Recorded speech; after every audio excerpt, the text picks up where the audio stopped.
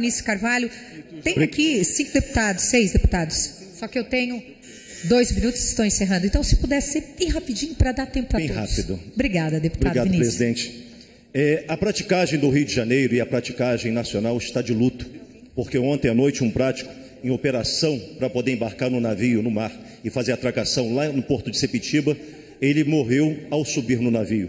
O nome dele é Valdir Barros Cal. E nós que temos defendido aqui esses profissionais da praticagem, estamos trazendo ao conhecimento das pessoas que aqueles que pensam em votar a respeito de qualquer assunto que envolva a praticagem, faça como eu. Antes de votarem, conheçam essa realidade, porque são profissionais que não têm quem lute pelas suas causas. E por isso, nós externamos à família as nossas condolências e pedimos a Deus que possa confortar o coração de todos. Obrigado. Capitão